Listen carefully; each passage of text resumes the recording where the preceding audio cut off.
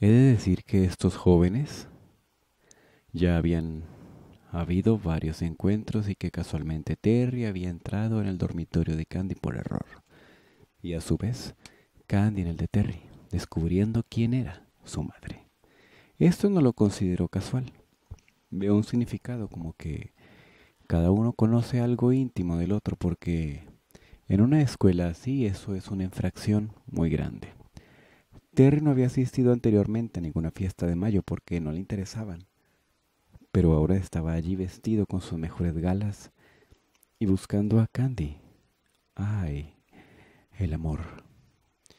Pasando a través de la multitud se había puesto a buscar a Candy y se había metido en la habitación de castigo para ayudarla a escapar, pero había encontrado la habitación vacía.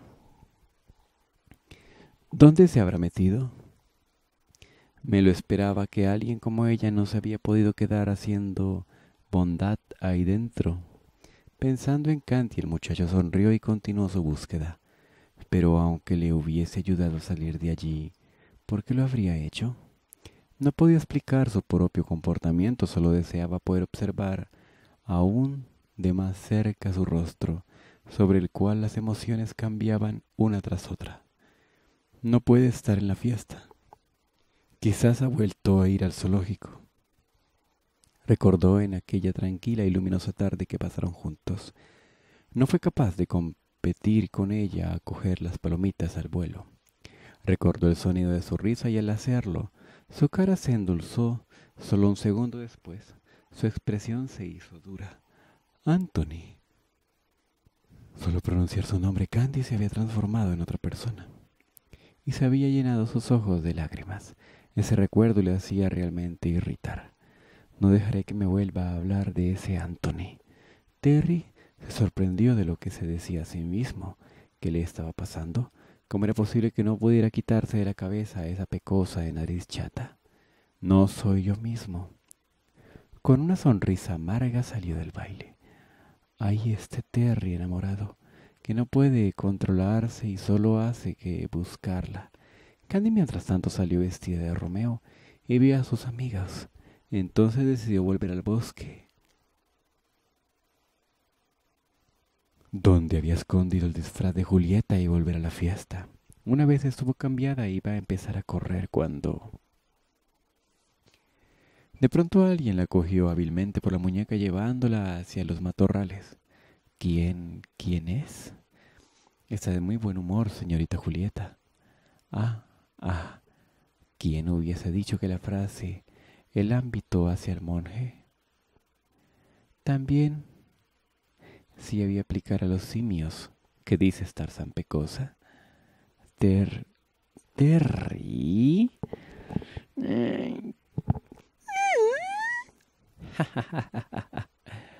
Terry estaba riendo a carcajadas mientras Candy por la sorpresa no podía ni hablar.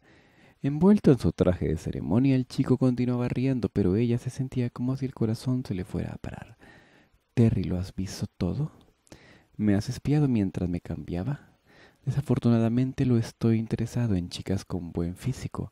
Pudo pasar que entraras en mi campo visual, pero no, no te he mirado, la provocó él, entornando los ojos.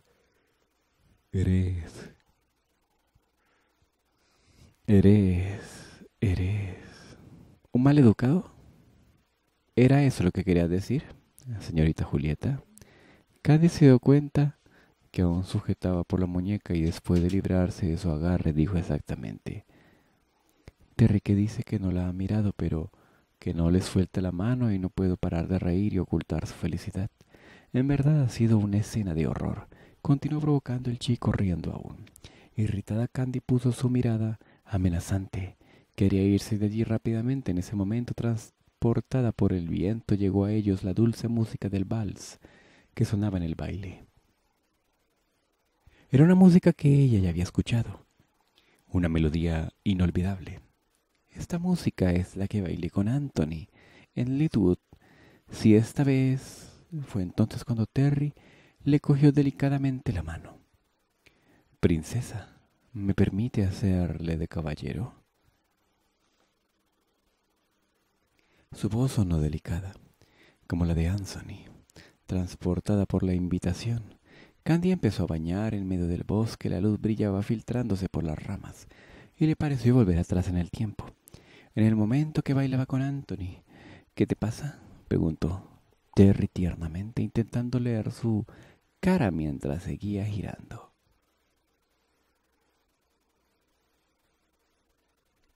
Sin darse cuenta, Candy había empezado a llorar. La chica se dio cuenta y empezó a mirar al joven que tenía delante.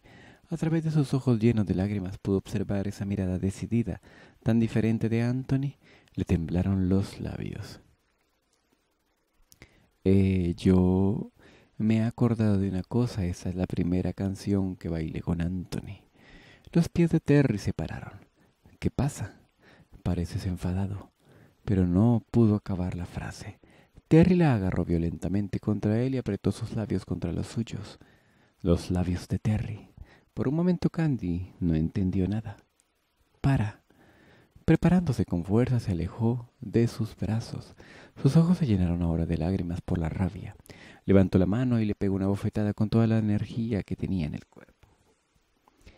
¿Qué crees que haces? Un delincuente. Eso es lo que eres. Un delincuente y un mujeriego. Ter le devolvió una mirada en llamas. ¿Qué crees que sabes de mí? murmuró rabiosamente. Un instante después fue la cara de Candy la que fue bofeteada. La chica se llevó sobresaltada la mano a la mejilla. El sitio donde le había pegado dolía. ¿Cómo has podido? Eres un violento. Pegar a una mujer es terrible. Llevada por la rabia, Candy lo bofeteó de nuevo. El cuerpo de Terry ondeó. Era la primera vez. Yo, si hubiera sido Anthony, si tú hubieses sido él, gritó ella, ahora llorando. En ese momento Terry la cogió enérgicamente por los hombros y dijo, ¿y si hubiese sido Anthony? ¿Qué? Él habría sido más gentil, pero él está muerto, ¿no? ¿Cómo puedes saber lo que habría hecho un muerto? Me haces daño. Déjame. Pero él no la soltaba. ¿Te he hecho daño? ¿Te he hecho daño cuando te he pegado? ¿Por qué no pides ayuda? Pide a tu Anthony que venga a salvarte. Puedes gritar cuanto quieras, pero él no vendrá. Él está muerto. Se ha caído del caballo y se ha muerto. ¿O me equivoco? Basta. Para allá, Terry. Llorando, Candy levantó la cabeza. Los ojos de Terry parecían llamas y estaban fijados en ella.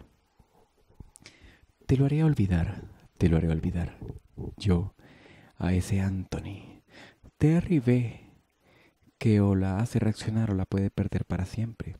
No había acabado de gritar esas palabras, el chico cargó a Candy en su hombro y se fue a paso rápido. Basta, Terry, te lo suplico. Por más que lo intentara, no podía liberarse. En el fondo del bosque podía sentir el relincho del caballo. Le pareció que iba a enloquecer un caballo. Terry tenía la intención de obligarla a cabalgar uno. El joven entró en su establo particular. Terry. Las lágrimas le impedían abrir los ojos. No, no eran las lágrimas, era el miedo a los caballos. No te muevas. Terry le habló con tono inesperadamente dulce y la subió a la espalda del animal y montó detrás de ella. Vamos, Teodora. Espoleado, el caballo salió al exterior con Candy temblando se cogió a Terry. El caballo corría a toda velocidad a través del bosque. El ruido de los cascos, el olor del bosque, era todo como aquella vez, pero ella no quería recordar no quería pensar en Anthony que se giraba el caballo corriendo aquel camino. No, no debería ir por allí. Para Anthony. Ayúdame. Candy lanzó un grito y cerró todavía más fuertemente sus ojos. Muy bien, grita. Llama a Anthony y él no vendrá. No vendrá, le gritó Terry sin pararse. Olvídalo, Debes olvidarlo, él está muerto y no puede volver. No siente dolor, no siente nada. Abre los ojos, abre los ojos y mira a tu alrededor, Candy. Esos chicos apasionados gritando y pegándose. Esa voz tan llena de dolor pareció forzar una puerta cerrada y ella abrió de golpe los ojos. Observa bien, el bosque de mayo todo está volviendo a la vida. La chica inspiró profundamente, aspirando el dolor, el olor de las hojas verdes y del musgo. Al trote, el caballo continuó corriendo a través de la vegetación. La luz se filtraba entre las ramas y parecía volver el bosque en un velo dorado las flores de dedaleras se agitaban como estúpidas a su paso. Los pájaros se echaban al vuelo, mientras las mariposas bailaban en el aire. Observando el paisaje delante de sus ojos, Candy sintió que poco a poco su corazón se estaba calmando. Inspiró el perfume fresco de los arándanos y de las rosas silvestres. Anthony. Más allá de la luz que se filtraba entre los árboles, le pareció ver algo. Agudizó la vista, quizás. Es Anthony. Intentó sonreírle. Oh, Anthony, ven aquí. Por más que murmurara esas palabras, él no se acercaba. Los ojos de Candy se volvieron a llenar de lágrimas. Debes olvidarlo, Candy. Sintiendo desde arriba la voz calvada de Terry, Candy alzó los ojos llorosos. El chico cogía fuertemente las riendas y miraba adelante con aire desafiante. Cogida a su pecho, Candy sintió su calor y percibió el latido de su corazón. El cuerpo de Terry emanaba un perfume parecido a la hierba fresca. Estamos vivos, Terry y yo. De pronto esa certeza la atravesó con fuerza. Él está muerto, no puede volver. Sintió de nuevo las palabras gritadas de Terry. Anthony, yo lo sabía, yo lo sé.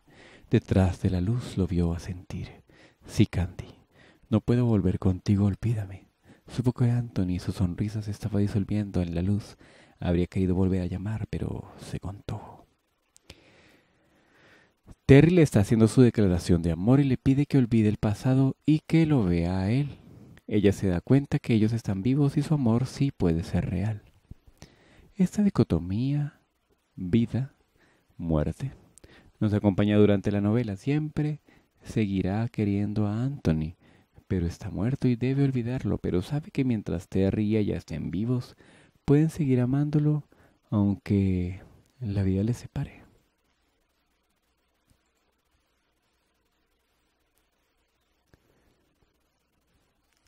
Entrada en el diario, página 29-37. No sé qué me está pasando. Desde la fiesta de mayo es como si el pecho se me hubiese formado una fuente de agua. Mi corazón no puede detener su agua gélida y siempre quiero llorar. Está apenada por olvidar a Anthony. Sin darme cuenta he empezado a buscar a Terrence y esto me hace enfadar. No puedo aceptar esto que me está pasando, pero no puedo dejar de pensar en él. Hasta ahora el pensamiento de Anthony ocupaba casi enteramente mi mente. Por mucho me esforzara, me era imposible expulsar los recuerdos vividos. Y en cambio ahora, ahora, a pensar en Terry todo el día. Te lo suplico, Anthony, perdóname. Yo no puedo olvidarte. Todavía ahora se me llenan los ojos de lágrimas al pensar en ti. Yo he tenido por ti un sentimiento muy grande. Ahora, sin embargo, he entendido ahora Entiendo en el fondo de mi corazón que tú estás muerto y no podemos volver a vernos nunca más, porque está muerto y no hay esperanza. Si estuviera vivo, cuidando de alguien sería diferente. Tú estás en un lugar donde no puedo tocarte, no puedo sentir tu voz. Lo he sabido siempre, pero no quería aceptarlo. Pienso siempre cómo me gustaría volver atrás el tiempo, solo si no hubieran organizado esa cacería, solo si no hubiese estado adoptada, ese pensamiento no me abandonará jamás. Al final de la historia encuentra paz en ese aspecto, pero debo continuar viviendo, ¿no es verdad? Terrence Graham, Granchester, Terry, ha sido el quien me lo ha hecho entender. Él me ha obligado a ver lo que quería evitar. No sé si debo agradecérselo o quizás odiarlo, pero ahora no tengo miedo a los caballos, y siquiera el recuerdo del accidente. Terrence me ha estado cambiando cada vez más. Me gustaría tanto que alguien me dijese si es justo eso. Querría tanto que alguien pusiera paz en mi corazón agitado. La chica encerró el diario. Este diario lo leería el tío Williams, o lo que es mismo Albert.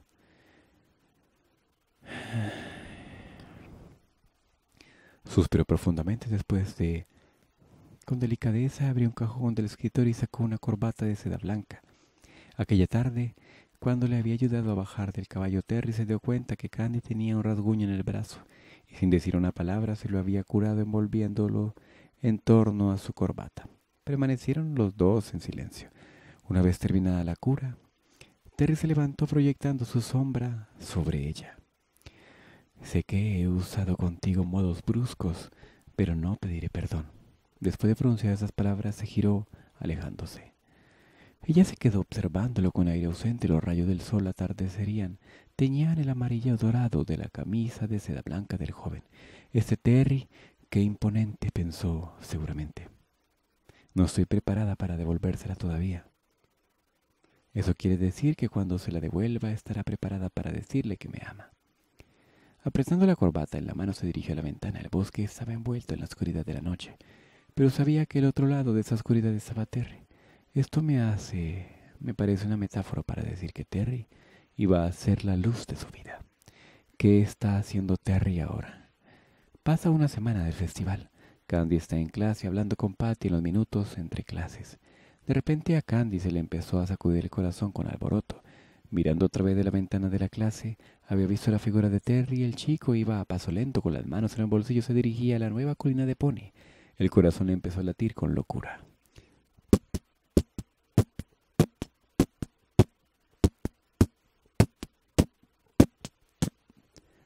A paso lento. Quizás él quería que Candy lo viera. Seguro que quiere volver a saltarse las clases. No le había vuelto aún la corbata desde la fiesta de mayo, era la segunda vez que lo veía de lejos, intentó controlar el impulso de correr detrás de él, loca de amor ya, que se quería ir detrás de él. Y Candy se queda en clase, y encuentra una nota de Annie para verse más tarde cuando sale de clase. Va a reunirse con Annie. Su amiga le dice que no le quite a Archie. Elisa se entera que Annie también es huérfana. Acaban siendo amigas de nuevo. Si no hubiera sido por la nota de Annie, seguro que hubiera ido a encontrar a Terry a la colina. Anthony está muerto y no podrá verlo nunca más. Pero aunque estén separados Candy y Terry, tendrán esperanza.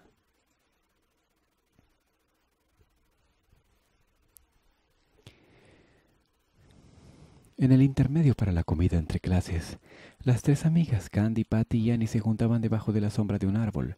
Annie se veía brillante mientras hablaba de sus sentimientos hacia Archie.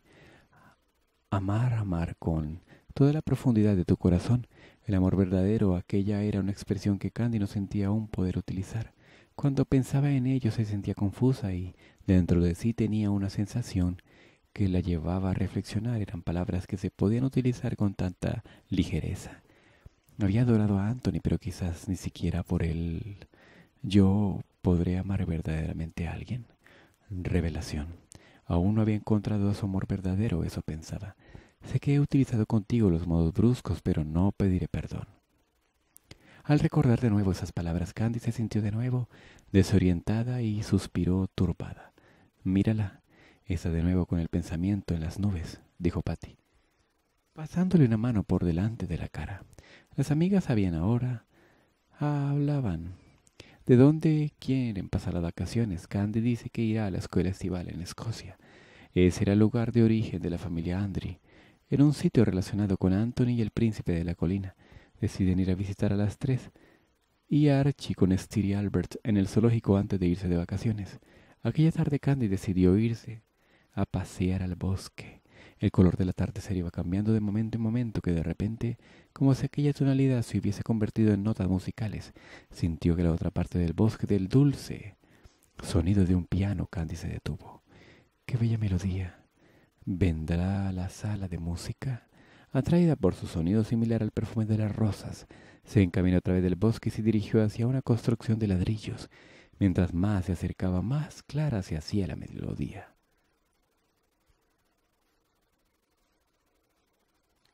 Una vez llegó, miró hacia arriba.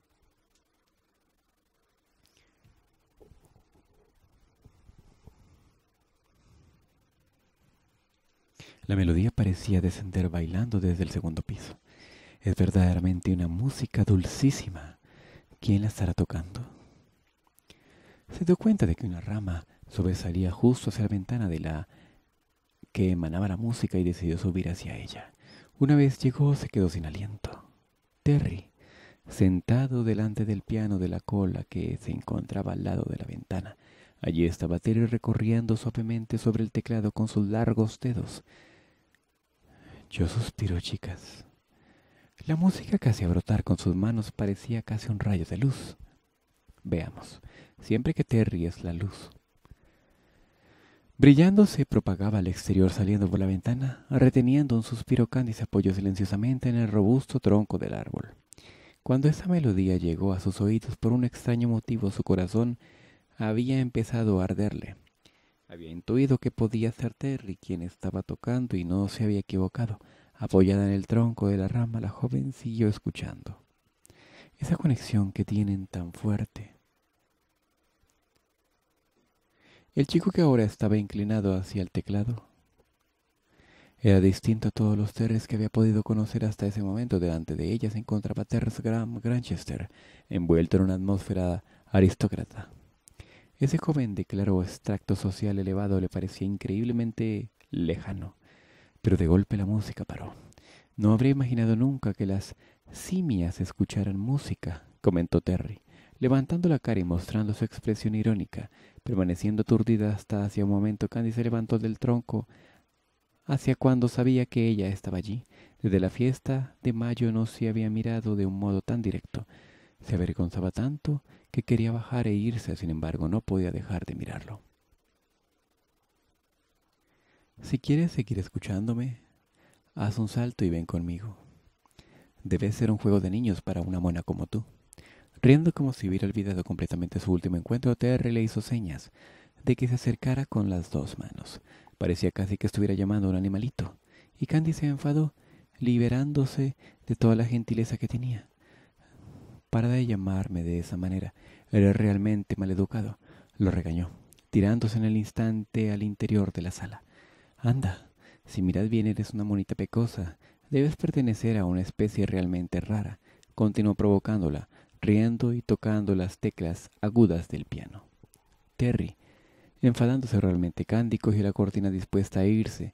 Se sentía una estúpida por haberse ilusionado con el chico después de lo que sucedió en la fiesta de mayo. No, espera. La detuvo el chico con voz sincera y continuó. Estaba soñando, pensando en ti. Entonces, avergonzado por lo que había dicho, bajó la mirada hacia las teclas del piano. Era la verdad. Hacía tanto que no tenía ganas de tocar. Entonces, cuando por casualidad había levantado la mirada, le había visto en aquella rama. Estaba triste y no tocaba el piano. Pensaba que estaba soñando con los ojos abiertos. Candy. Pero Terry no le confesó lo que pensaba. Se limitó a mirar en silencio mientras ella, con una expresión confusa en la cara, tenía todavía las manos en la cortina.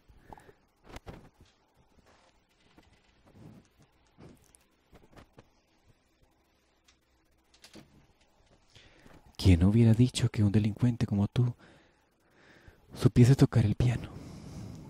Pudo decir finalmente la chica, devolviéndole por reírse de ella Terry sonrió y continuó tocando, escuchando esa melodía tan dulce que podía derretir el corazón. Candy empezó a tranquilizarse y se apoyó distraídamente en una pared. Eres verdaderamente bueno, dijo con voz baja cuando acabó la canción, suspirando admirada. Sí, pero solo en lo que respecta a esa canción de cuna de Mozart, respondió él, cerrando delicadamente el piano. ¿Es una canción de cuna? Por eso me vino un poco de sueño. Esa mujer cantaba muy a menudo esa canción. Recuerdo también que me la susurraba en la oreja cuando me metía en la cama. Con la mirada perdida en un punto lejano, Terry cerró los ojos como si la estuviera escuchando. Al pensar que esa mujer era Eleanor Baker, Candy contuvo el aliento mirándolo. Fue feliz de ver que realmente, mientras recordaba aquello, el chico no tenía rastro de rabia, hostilidad o violencia. En el fondo de su corazón suspiró aliviada para que luego digan, con lo tierno que es. Bueno, es el único recuerdo que te ata a esa mujer. Como te envidio. No pudo contenerse al decir Candy. Terry se giró sorprendido hacia su dirección. Aunque sea un único recuerdo, tú al menos lo tienes. Yo no tengo ninguno, confesó con gran serenidad. Es verdad, Candy. Tú no sabes ni qué rostro tienen tus padres. Como Casi como si hubiese sentido el corazón del chico murmurar aquellas palabras, Candy sacudió ligeramente la cabeza y sonrió. Pero yo he estado abandonada en el orfanato más bello del mundo. El recuerdo de mi infancia en, en la casa Pony es para mí un tesoro. Estoy verdaderamente agradecida a mis padres por dejarme allí. Estoy segura que lo escogieron con gran cuidado. Al oírla hablar con tanta alegría, Terry la observó casi deslumbrando. Son la luz, el uno para el otro. Háblame más de ti, Candy. Naturalmente la chica no necesitaba a nadie, se lo pidiera. Le habló de la generosa y gentil Misa Pony y de Surlane, a veces tan seria y otras tan cómica. Piensa que en esa casa Pony no había alguien tan hábil como yo para lanzar el lazo o trepar los árboles. ¿Y qué me dice del número de pecas? Eras invencible también en eso. Es verdad, no me digas que aún estás envidioso, Terry, bromeó ella, riendo. Si estoy verdaderamente envidioso, me gustan las pecas declaración de amor. Como si hubiera liberado lo más terrible confesión. Terry tosió y cambió rápidamente el tema. ¿Volverás a América esas vacaciones? Seguro que la carcomía la idea de estar juntos o la carcomía la idea de estar lejos de ella. No, no me ha sido comunicado que tenga que volver. Probablemente asista a la escuela estival. ¿Irás a Escocia entonces? Terry se apoyó en el piano y bajó la cabeza, como absorto en un pensamiento. La villa de la familia está también en Escocia. La villa de mi familia también está en Escocia. En ese momento sonó la campana. Sin que se diera cuenta, la hora del atardecer había pasado y la aula se había teñido de un azul oscuro con reflejos anaranjados. Si no se daba prisa a llegar a la cena, habría perdido diez minutos de castigo. Debo irme, dijo Candy y cogió el borde de la ventana, jadeante. Me gustan las pecas, solo hacía falta esa frase para turbarla. Pero había una cosa que quería decirle. Cogió aire. ¿Sabes, Terry? Yo... Yo ya no temo a los caballos. Esa es la contestación de la declaración de amor de Terry. Y como le pide ella, ya no tiene miedo, olvida a Anthony y ahora su corazón puede ser de Terry. En la siguiente escena para mí ya son pareja, con la certeza cada uno del sentimiento del otro. Pronunció rápidamente esas palabras sin girarse. Se lanzó de la ventana a la rama. Sentía el cuerpo en llamas. Ven, a encontrarme a mi villa. ¿Había oído realmente esas palabras murmuradas a su espalda? Ellos tienen una conexión desde la primera vez que se ven, por eso intuye que es él. Candy ha reflexionado y está preparada para aceptar esa relación. Podría estar ofendida, pero por el contrario va hacia él. Ter en esa frase después de escuchar que aquella que ella va a dejar el pasado es como si le dijera, pasemos el verano juntos.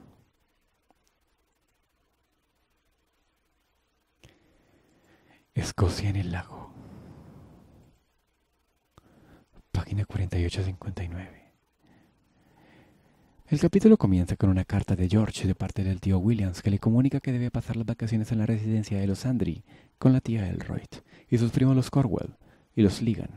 Sigue con otra entrada en el diario. Posteriormente leerá al tío Williams, Albert.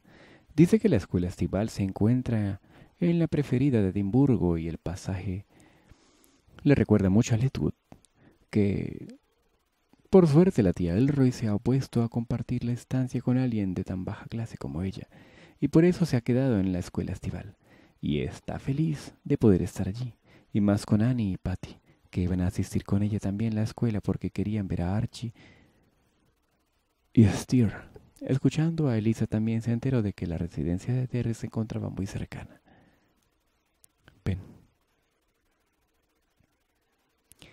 Ven a encontrarme a mi villa. T.G.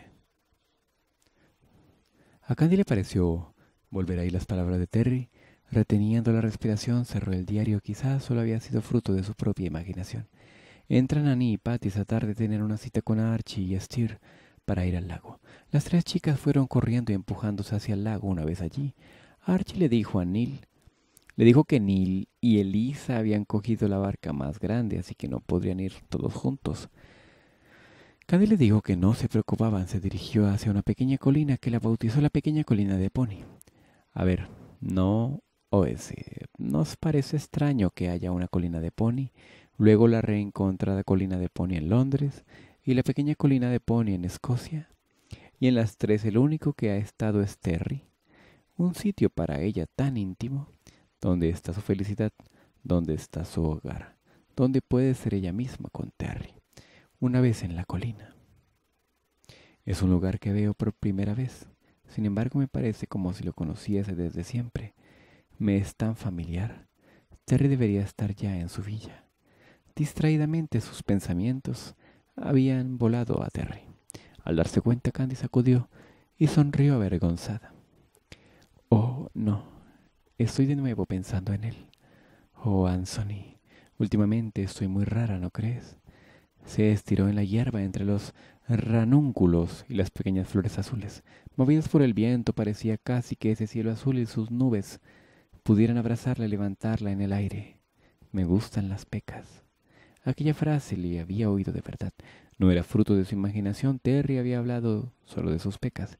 Sin embargo, cada vez que volvía con la mente a aquel instante sentía su corazón alborotado. Oh Dios, te estoy agradecida por haberme llenado la cara de pecas, aunque nunca me hayan gastado hasta ahora. Cerró los ojos. Era tranquilizador sentir el calor del sol sobre los párpados.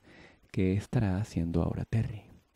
Empezó a quedarse dormida, empezó a pensar en el joven. De repente alguna cosa le hizo cosquillas en la cara. Si te quedas aquí dormida, acabarás siendo mordida por una serpiente venenosa. Otra vez la conexión. Ella pensando en él y parece... Y aparece, me imaginó, a Terry, viéndola de lejos sonriendo mientras caminaba hacia ella. Una vez ahí no puede resistirse a tocarla aunque sea con una ramita. Ah. Asustada se levantó de golpe y se encontró delante de Terry. El joven reía y observaba desde arriba, moviendo el fruto de una plantita. La joven se puso de pie rápidamente. Qué extraño. Hace un momento estaba pensando en él. Y ahora... Para allá. Siempre me asustas. Conteniendo las emociones que se gritaban en ella, Candy hizo una mueca que le quitó la mano de encima al chico la ramita con la cual le había hecho cosquillas en la mejilla. Soy yo el que está asustado. quien hubiese dicho que Tarzán tuviese miedo a las serpientes? Creo que son más bien ellas las que tendrán que tenerte más miedo a ti. Terry, era inútil. Intentar mirarlo con cara amenazadora no podía expresar eso en su mirada. Por su parte, Terry también estaba sonriendo. Si ya lo digo yo aquí, ya saben que tienen algo, aunque no sea algo oficial, pero ya ni se ofenden con las bromas y no pueden parar de sonreírse el uno al otro. ¿Cómo es que estás en el lago? Ah, ya lo sé. ¿Me estás buscando? La felicidad de Candy brillaba también en el tono de su voz. La joven se impuso volver a recobrar el control. Esos enamorados, suspiró, suspiró. No te creas, desde que he llegado vengo siempre aquí a leer.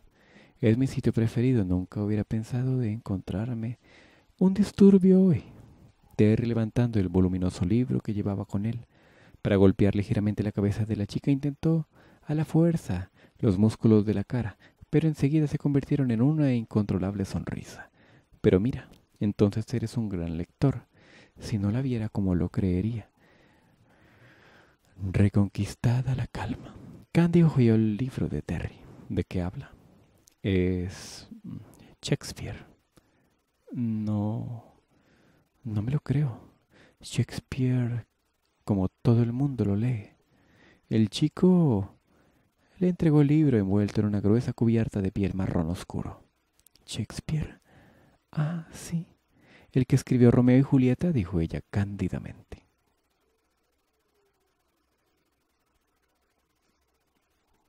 Los dos apartaron la mirada.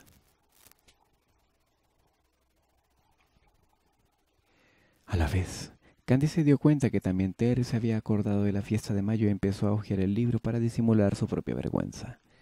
Este es Macbeth. Yo sabía que... No sabía que amaras las tragedias. A decir verdad, no me gustan. Rebatió él con voz improvisadamente dura. ¿De verdad? ¿Ni siquiera este pasaje? Preguntó Candy mostrándole irónicamente una página. El texto estaba subrayado en muchos puntos y tenía también notas.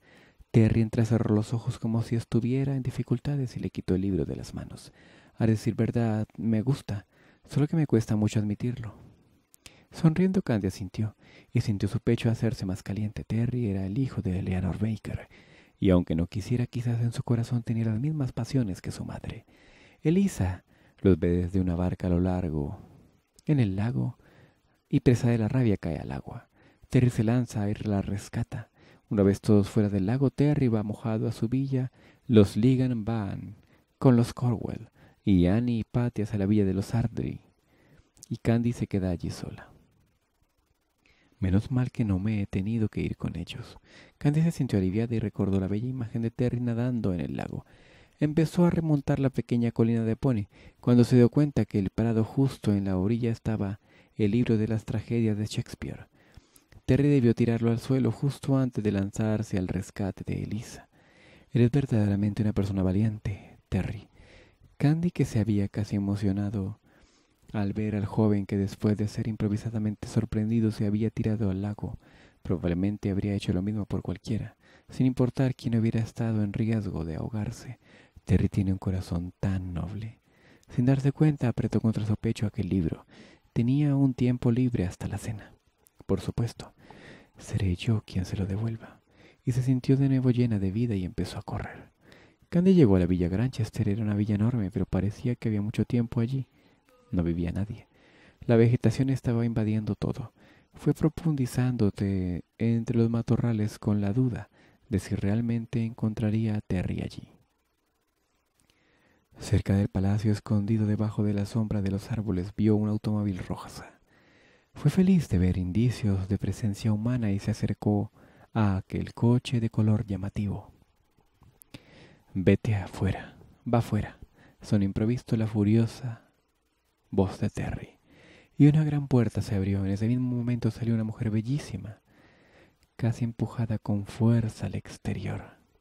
Llevaba un vestido de los no me olvides. Símbolo, hay muchos y se han ido de tener en cuenta y tenía el pelo rubio. No había duda. Candy se quedó petrificada. Eleanor Baker. Viéndola en persona no parecía tan joven como en las fotos, seguramente porque el maquillaje se le había derrotado a causa de las lágrimas, y en la cara reflejada una gran tristeza. Te lo suplico, te lo suplico, solo un poco de tiempo.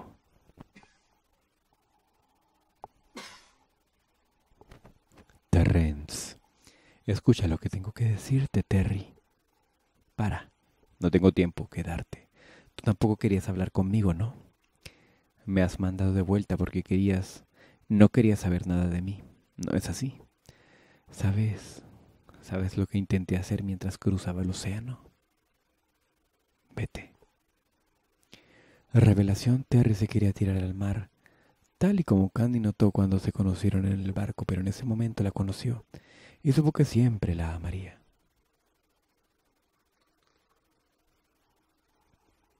El joven tenía los ojos llorosos y su grito Parecía un grito de dolor. Candy contuvo la respiración. Te lo ruego, perdóname, Terry. Sé bien que me he equivocado en el fondo de mi corazón. Era feliz de volver a verte. Solo que yo... La mujer extendió una mano como para tocar al hijo, pero él la apartó bruscamente. Vete ya. Yo ya no tengo ninguna madre. No quiero volver a ver tu cara. Vete. Candy no pudo escuchar más. Basta. Gritó con un gemido casi sin darse cuenta. Terry y su madre se giraron a mirarla sorprendidos. Terry, basta ya. Esto no es lo que piensas de verdad. Sé sincero. Lo dice también por lo que decía que no le gustaba Shakespeare. Y además este sincero utiliza el siguiente fragmento. Tú quieres a tu madre. Es por eso que en el barco la expresión triste la primera vez que nos vimos me impresionó tanto. Y en cambio ahora quieres echarla. Es una cosa terrible. Terry, te lo suplico. Escucha lo que tiene que decirte. Si yo, si yo tuviera una madre que hubiera venido a buscarme desde tan lejos, yo de golpe paró. Transportada por los pensamientos, había dicho todas esas cosas inoportunas. El libro de las tragedias de Shakespeare le resbaló de las manos. Discúlpeme, no sé qué me ha pasado. No debía entrometerme, pero no eches a tu madre. Te lo pido. Gritando esas palabras, Candy se giró y corrió rápidamente. La vista se le nubló y se dio cuenta que estaba llorando.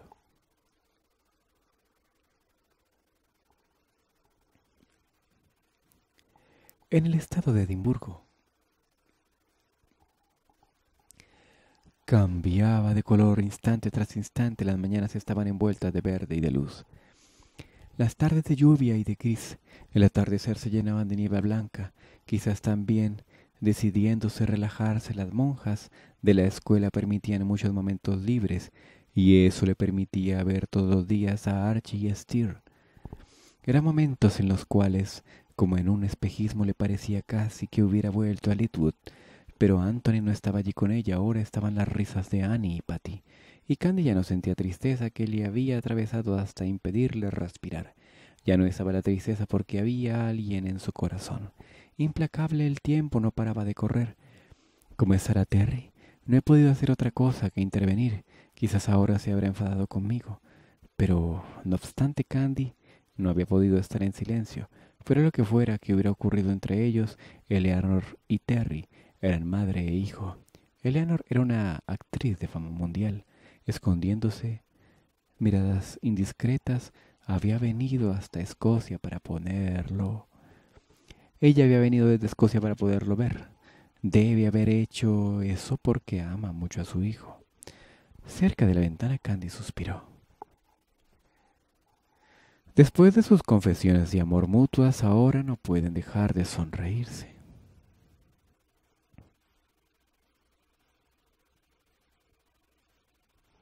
Voy a leer comentarios de la gente de acá. Dice, qué bueno que ella lo encontró en ese barco y se fue en el encuentro que marcó el destino de ambos. Qué bueno que Candy fue su salvación, su único amor. Esto sí es nuevo para mí. No me había percatado de ese enorme detalle. No cabe duda que eran almas gemelas. Estaban destinados el uno al otro. Pero la pequeña pecosa le salvó la vida. Por eso le quedó tan impresionada con ella.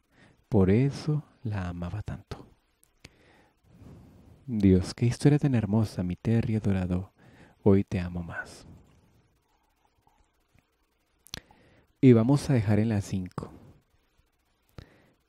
Escocia en la villa de Terry.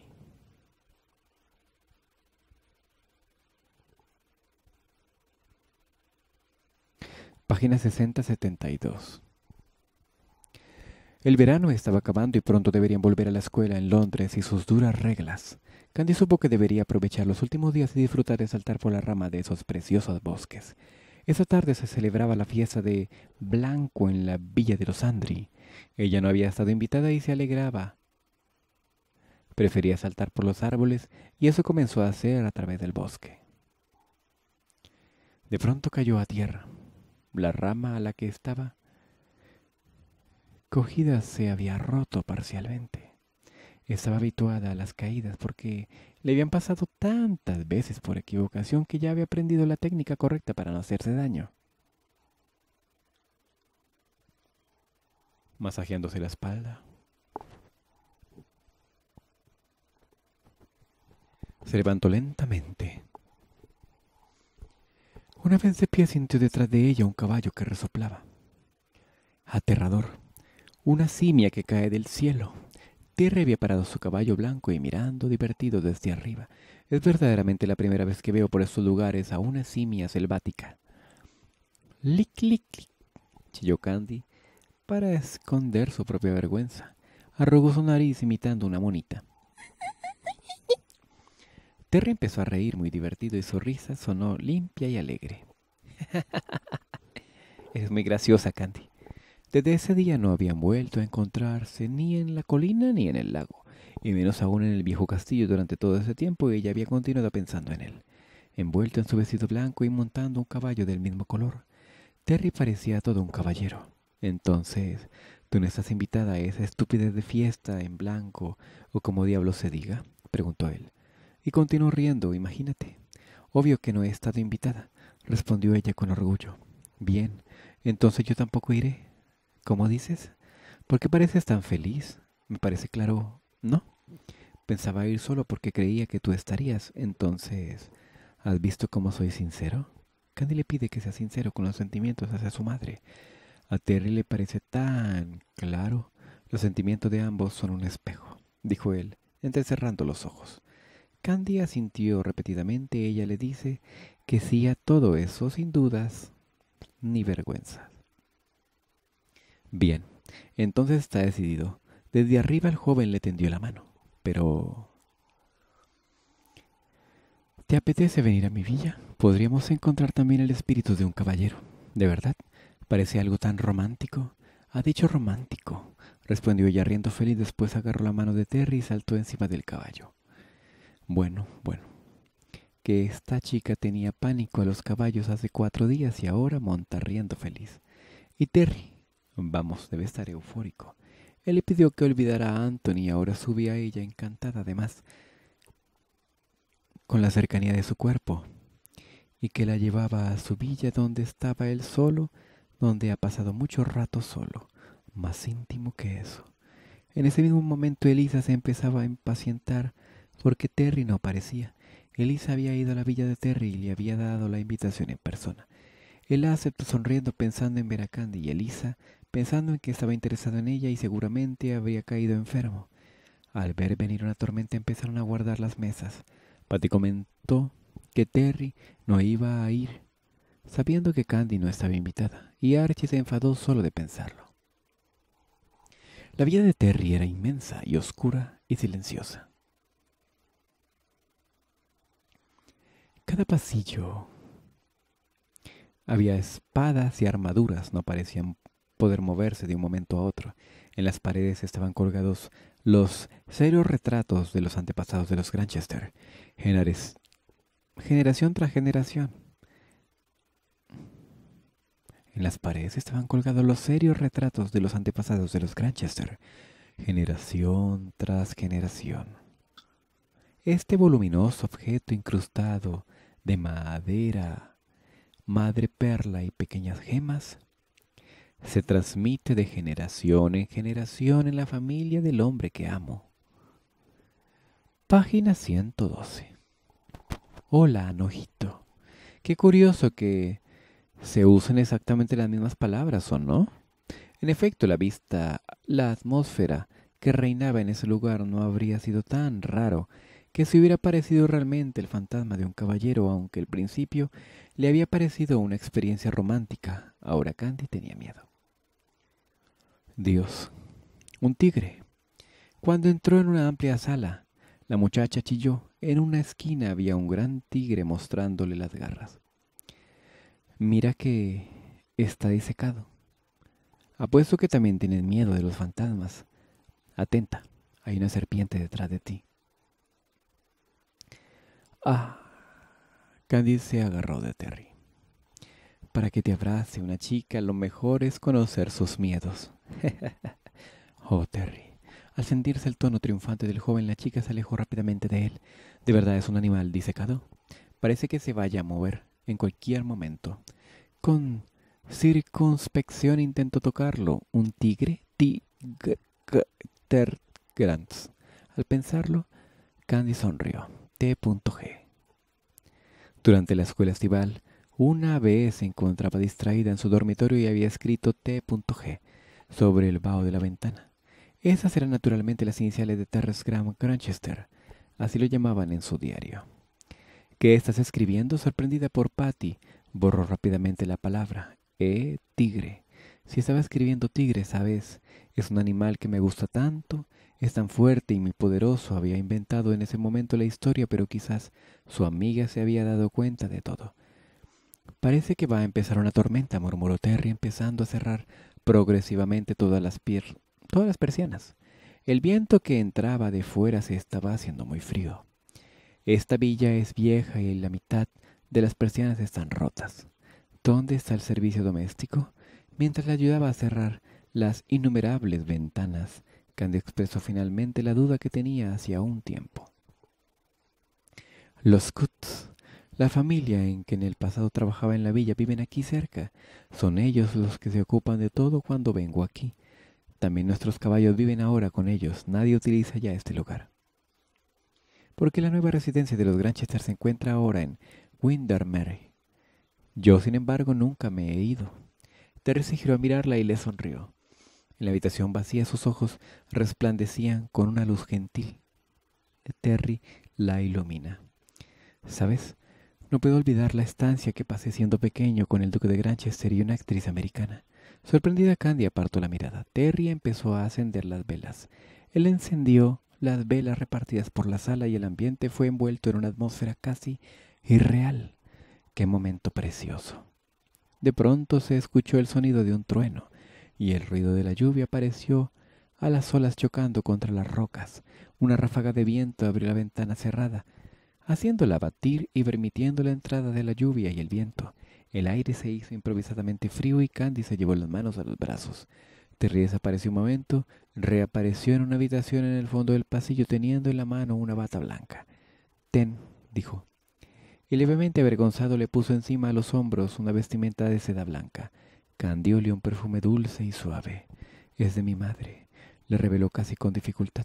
Mirando hacia otro lugar, Candy se giró sorprendida. Su mirada se encontraba repentinamente y al mismo tiempo ambos apresuraron a mirar al otro lado.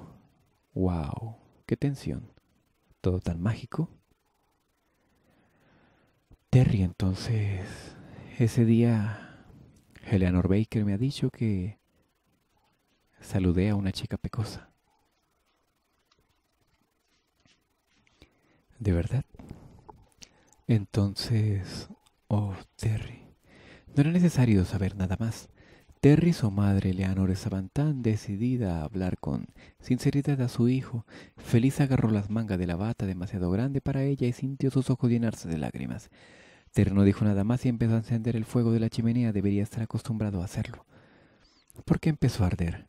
Rápidamente los ojos de Candy empezó a vibrar el color cálido del fuego. Acércate a la chimenea. En otras palabras, aquella frase quiere decir, acércate a mí. Al pensarlo, Terry se sintió insólitamente nervioso. Terry nervioso y yo también. Candy obedeció dócilmente y se sentó en una alfombra de la piel. Luego acercó las dos manos al fuego. ¡Qué caliente está! murmuró. ¿En serio? Esto quiere decir las llamas danzaban en el perfil de la chica. Terry siguió observándola. No puede parar de mirarla. También ese día, cuando llegó la noche, habíamos encendido la chimenea. Yo y esa mujer habíamos permanecido aquí hasta el amanecer mirando el fuego. No habíamos hablado de nada en particular, pero yo lo he sabido. Si yo, si solo hubiera podido, si solo hubiese podido, se habría quedado con el duque de Granchester y conmigo. Eso era lo que ella deseaba verdaderamente, mucho más que ser actriz. Quedaros con esas palabras. Sin Candy no habría entendido nada de todo esto. Estaba casi por echar a mi madre. Estaba casi por hacer una cosa a la cual no hubiese podido poner remedio. Candy le dirigió improvisadamente una sonrisa y él se la devolvió con todo el corazón. Conexión interna, conexión y ternura. A veces una sonrisa vale más que mil palabras. El pecho de la chica se llenó de una sensación de calor. Ser le gustaba ese pensamiento. Le resultó casi doloroso y pensó si a él también le pasaba lo mismo, lo quiere tanto le duele. El tiempo pareció pararse por un momento y el joven estiró instintivamente la mano hacia ella, pero de repente se paró como si hubiera vuelto en sí. Suspirando, Candy volvió lentamente a observar el fuego. Mizuki, mala persona. Aquí iba beso. Hasta Candy lo quería con el suspiro. En la casa Pony hay una chimenea también. Las directrices siempre nos preparaban marshmallow allí. Tus conversaciones son casi siempre de comida. El tiempo empezó de nuevo a correr como si la tensión hubiera finalmente desvanecido. La sonrió y estiró las piernas de la alfombra.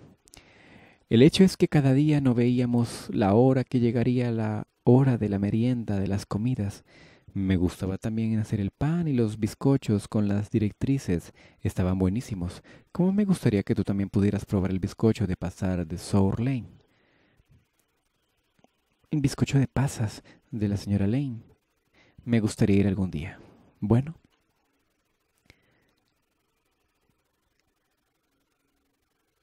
Ir a su casa a ver a sus madres, la relación progresa. Sería curioso ver el manzano en el que te has entrenado para hacer de Tarzán. ¿De verdad? Me lo tienes que prometer. exclamó ella, girándose a mirarlo con los ojos enllorosos. Pero quizás ha llegado el momento de pasar, de parar de hacer de Tarzán. El próximo otoño quiero esforzarme por ser auténtica, señorita. Había hablado con máxima seriedad, pero él empezó a reír. Tú y a una señorita no te pega. Me imagino que él tampoco quería eso de ella. Qué maleducado, exclamó Candy, hinchando las mejillas como para parecer enfadada, pero ella también empezó a reír. No tengo aún claro cómo ser una verdadera señorita, pero cuando encuentre al tío Will Williams, no quiero desilusionarte. Quiero convertirme en una chica de la que pueda estar orgulloso. Estás hablando de la persona que te adoptó, ¿verdad? Exacto. En las cartas que me envía George, su secretario siempre dice que el tío abuelo no ve el momento en que me convierta en una auténtica señorita. ¡Qué presión! comentó riendo Terry. Pero yo no tengo otra forma de mostrarle mi gratitud. Gratitud. Si me esfuerzo, pienso que puedo obtener buenos resultados en el comportamiento, en el modo de pensar e incluso en el estudio, pero al ver su expresión hacerse seria, Terry no paró de reír. No llegó al nivel de los otros estudiantes en lo que relaciona al piano y los otros instrumentos. Todos los alumnos del instituto podían tocar bien algún instrumento al piano. El cimbalo de la arpa, el violín. Annie, por ejemplo, era buen tanto con el piano como la flauta. Tienes que estudiar sin prisa tomándote tu tiempo, pero si no me doy prisa, el tío abuelo puede morir. Está tan anciano Nadie lo puede conocer aunque solo son rumores. Me parece que podría ser de avanzada edad. En este caso entiendo por qué tienes tanta prisa. Ciertamente si hubiese... Si hubiera un buen maestro dispuesto a darme lecciones privadas de piano sería para mí una gran ayuda, dijo Candy con una mirada graciosa en su cara. Bueno, dice que Annie es muy buena tocando el piano. Son como hermanas, y además seguro que siendo dos chicas pueden practicar en cualquier lado pero le pide a Terry que le dé clases privadas. Solo en su villa quiere estar con él como sea. El chico se empezó a reír y le dio un golpecito en la frente. Si te contentas conmigo, estaré disponible. ¿Eso es lo que querías oírme?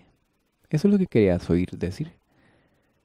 Exacto, respondió ella con una sonrisa resplandeciente, reteniendo el impulso de retirarla hacia él para abrazarla fuertemente. Claro que está emocionado, le está pidiendo pasar el tiempo juntos, solo ellos dos. Terry se levantó, el fuego de la chimenea se estaba ya extinguiendo, sin que se hubieran dado cuenta también el sonido de la lluvia le había parado. A través de las ventanas rotas se filtraban ahora luminosos rayos de sol. Estaban en su mundo.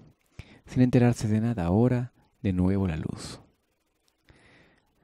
Si tú quieres, estaré contento de ayudarte, Tarzán Pecosa, dijo el joven haciendo una reverencia. No me ha gustado mucho cómo ha acabado la frase, pero lo importante es que te hayas ofrecido ayudarme, dijo Candy.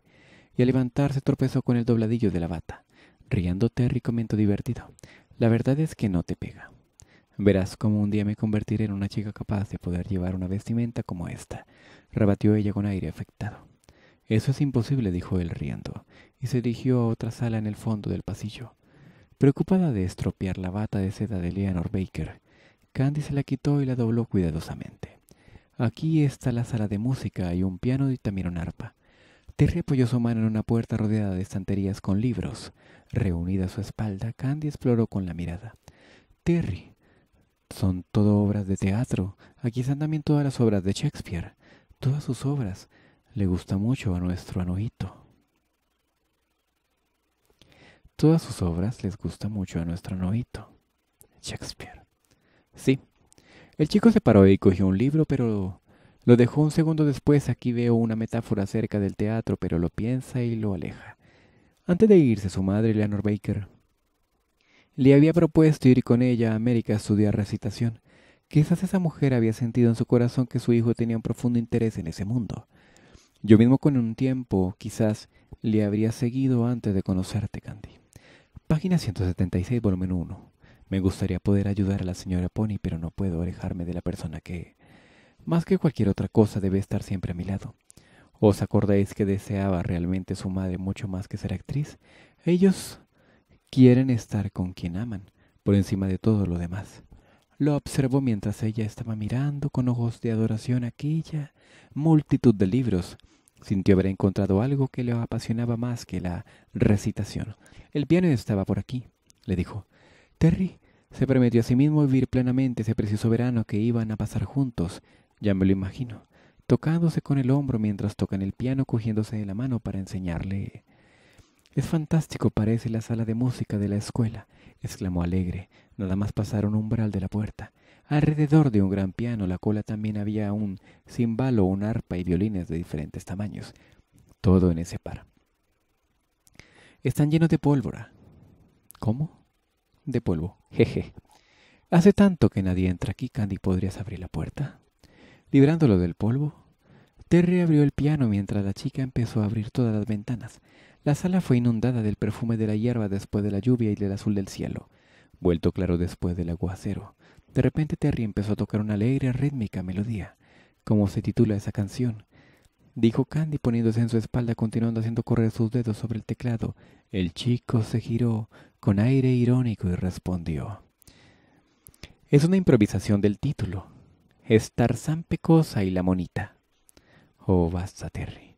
Candy le dio un solo pequeño empujón, pero él reaccionó con pose teatral y se tiró al suelo llevándose la banca tras de él.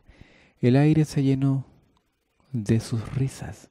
Escondida detrás de la puerta estaba Elisa, quien presenció toda la escena llena de rabia e ira. Elisa había ido a buscar a Terry pensando que estaría con fiebre y por eso no había podido asistir a la fiesta. Recorrió la villa buscándolo, pero cuando lo encontró con Candy, los dos solo riendo, juró que se lo haría pagar a Candy. El joyero pasa de generación en generación como los cuadros. Todas las obras de Shakespeare, como la estantería de su actual hogar.